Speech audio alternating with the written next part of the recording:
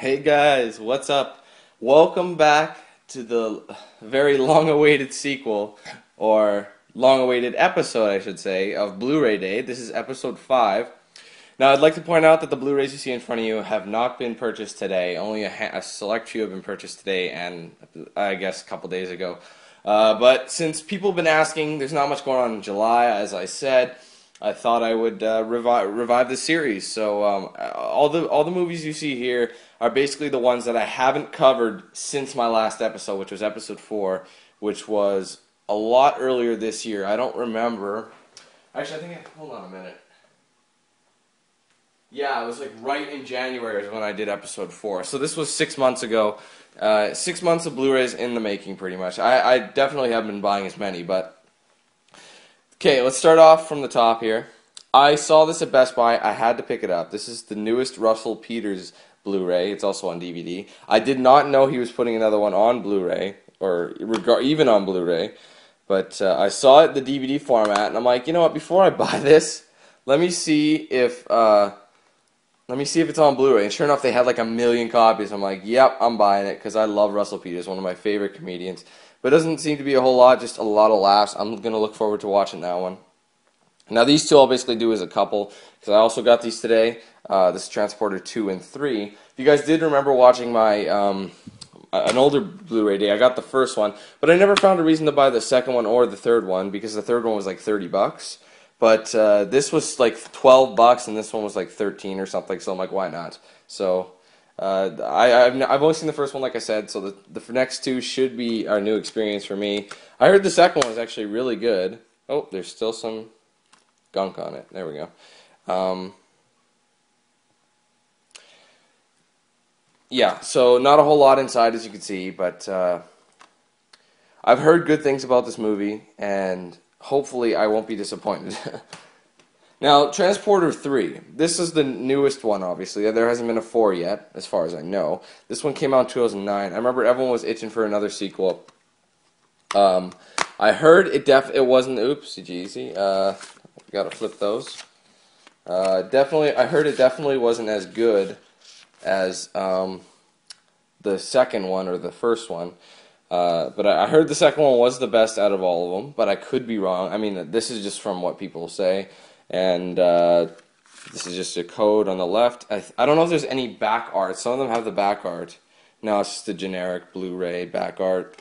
So you have a feature film on the right, and I think you have the digital copy on the left. Not that I ever use the digital copies, so it's not that big of a deal to me, but I guess it's handy. I mean, I don't watch I don't watch Blu-rays on the computer. And the thing is, though, my my laptop does have a Blu-ray drive in it, so I tested it though, and since my laptop only does 720p, what's the point?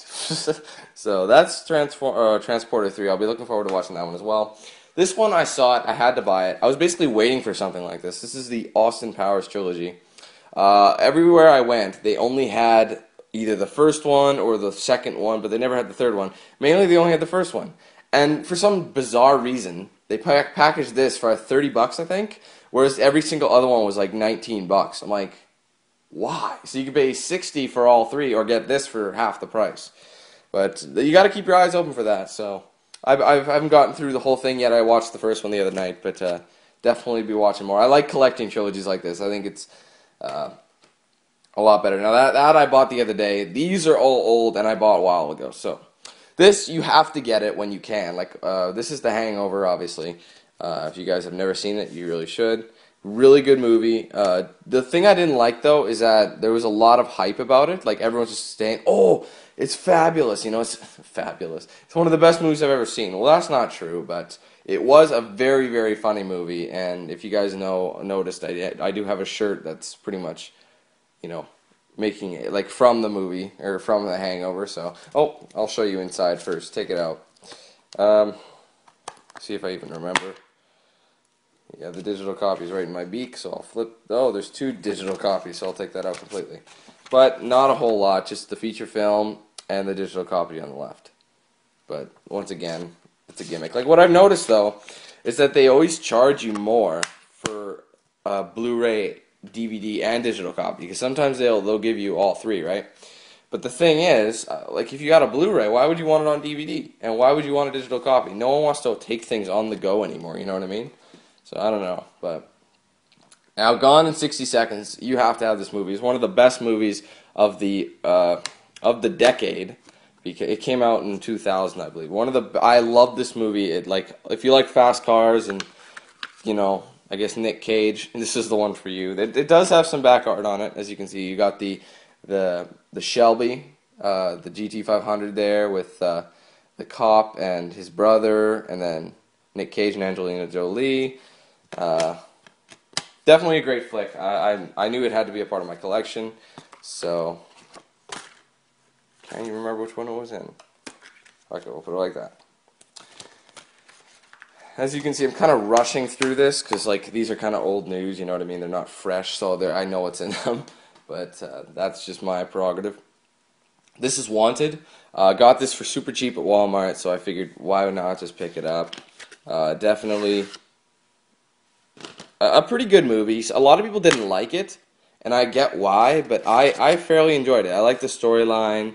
I like the uh, like you know the, the, the their power so to speak. And if I'm not mistaken, this was inspired by a another film or a book. I don't remember what it was, but I did play the video game for this that released in 2009, and that thing was pretty shitty. I'm not gonna lie, but pretty generic. You get a nice slipcover with the 3D. The bullet's kind of you know indented. You can see that or whatever you want to say. You guys know that I kind of like those slip covers. They're pretty neat. You know, just a nice way to dress up the Blu-ray or whatever it is. Okay, this is was an amazing movie. The only complaint I have about this movie was that it was too short. It's I think it was an hour and a half. It needed an extra half hour. Trust me, it did. I mean, even though it was really good up to it, it ended super quickly. Like I mean, there was uh, like so much leading up to it, and you're just like, oh man, this is just a phenomenal movie. And then all of a sudden, you know, he he gets the job done in a matter of like 15 minutes. So something that should have been a little longer ended pretty quickly. But however, it was an amazing movie. Definitely recommend picking that up if you haven't already. Now I'll do these as a whole. Uh, these are the um, Fast and the Furious. You know, all whoops, all four movies. Um, basically, at the time, this one didn't exist. I mean, it did exist, but uh, I couldn't find it. So this is all I could find. The, fir the first one, the third one, and the fourth one. First one was great. Third one was pretty good. Fourth one wasn't that good. I felt like they kind of strayed away from their roots, you know what I mean? But uh, however, they were good. And then finally, I called them and I'm like, "Do you have this in yet?" They're like, "Yes, we do." So I went over and grabbed it. And the thing is, they marked it up. They marked it up because they knew how much in demand it was. Because this was my favorite one out of all of them. I don't know why. I just liked it the best. But um, the funny thing was now, uh, I look, all four of them are ten bucks. I was like, "Oh my god, you kidding me?" but regardless, I still am glad I have them. Now, if we open them up, I don't think there's too too much. No, it's just just telling you. See that you have another. It's a DVD copy as well. It's Blu-ray and DVD. Um, I think all of them come with that, and then more movies from. Oh, that's a digital copy. Excuse me. Yeah, and then for Fast Two, Too Fast, Too Furious. I think it's the same thing. All the same. It's just same cut, like you know, color with the little advertising. I think they're all like that. I'm like, I mean, yeah, this one's got the orange color. and that and same thing nothing new and then this one's got the red color oh no this one's blue as well okay you think they'd be red because this thing's red but they flipped it but this is the newest one uh, actually no it's not Fast 5 I haven't seen it but I heard it's pretty good so uh, definitely want to take a look at that now first things first finally this last one don't take this seriously guys it was kind of a joke this is The Wizard of Oz. Uh, I never bought this. Um, back in, uh, when was it? I think it was January around there when I was uh, seeing this one girl. Uh, for my birthday, she got this for me because we kind of had a running joke with it. Um, we, I don't know, I would like make fun of the Munchkins and things and, and sing the, you know, the Lollipop Guild song. I'd love that. I just, I just, because it would annoy the hell out of her. So I just sing that and I don't know. She kind of just picked it up. It's a really cheap movie, honestly. Uh, it's, it is HD, but they obviously didn't have the technology back then to make it widescreen. So it is in uh, 4 by 3 ratio, but it is 1080p. You know what I mean? So it's not widescreen, but it's 1080p. But this is a classic. This movie is old, man. This came out in 39, I think. 1939. and uh, the first color movie ever. What they actually did, fun fact, if you didn't know about this, this movie actually wasn't shot in color, but what they did was they actually uh, painted the frames. I'm not even kidding. They painted them. So that's why she goes from black and white and steps into this wonderful world, world of color. Well, they, they, they colored the, each frame. Like they had an artist come in and color them. So considering they put that much effort in that much movie, that type of movie, I'll bet they were like just blown away when people saw it. They're like, "Whoa, color!" You know, for the first time ever. It was pretty original for sure. So uh, that's why the colors seem a little more fake than other. That's why it's not real color. But uh, regardless, this is a classic. I do recommend you at least watch it if you haven't already. But that's my latest edition of Blu-ray Day. I apologize if it wasn't like you know as in depth as my normal ones are, but I kind of had a lot to get through, and I just wanted to get through them quickly. So I hope you guys enjoyed it. Bringing back a lot more uh, shows, I think. So uh, thanks for watching, guys. Hope you enjoyed it, and I'll see you later.